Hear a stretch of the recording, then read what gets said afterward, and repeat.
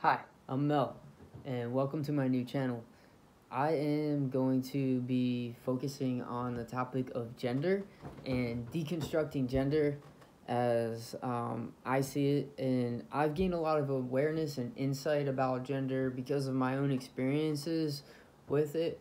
So I want to share my insight to the rest of you and um, hopefully open the minds and hearts of others so that we can kind of take a deeper dive into this um, idea of gender and what it really means. Um, so, I've personally lived kind of an interesting path so far in my human experience um, about gender, and it's allowed me to open up my own awareness, my own conscious insight surrounding gender, and I've decided that I have a message for humanity about deconstructing gender, and I'm very passionate about um, going past ideas and beliefs that we think we know are the truth or we've been taught, and kind of just like challenging that.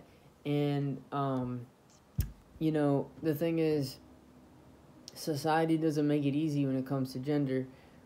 You know, people are put into boxes, and it's like we're human. We're we're we're humans. We're we're not. We were never meant to fit into boxes. We are not meant to be told what we should look like based off our body parts.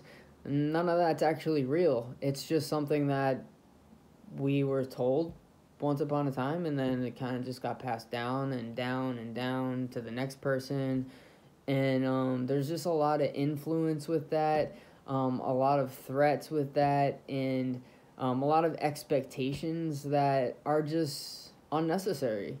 And I think if we want to move forward as a human race and and live compassionately and have connection collectively, we got to transcend past gender. We got to break down the barriers and the walls surrounding it.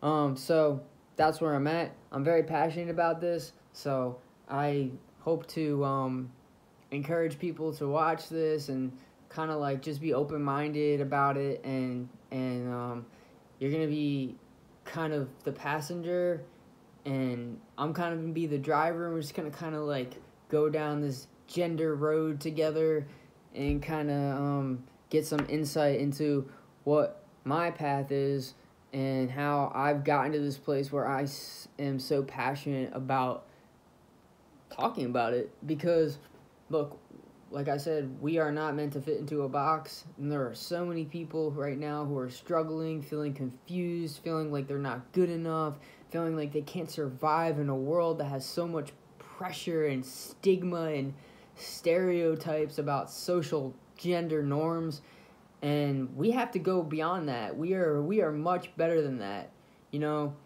and um, we've just conceptualized all these ideas and beliefs about it, and it's like, no, man, we have to go past that. We have to get into the realization that we are all one. We are all just human, and um breaks my heart to know that there's many people out there who um, feel like they don't want to be here because society's made it too difficult for them and too challenging.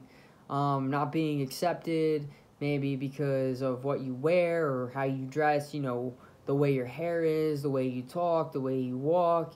I mean, society has really put down a lot of rules and foundations that are unnecessary and um, this is not what it's all about, guys. You know, we are we are all welcome here, and we need to open our minds and open our hearts. And um, what better time to do that than right now? You know, so you know I've lived an interesting experience about gender, so I'm gonna take that, bring it to you. Hopefully, you find some kind of um, growth in what I have to say and I'm looking forward to taking the ne- next steps with this YouTube.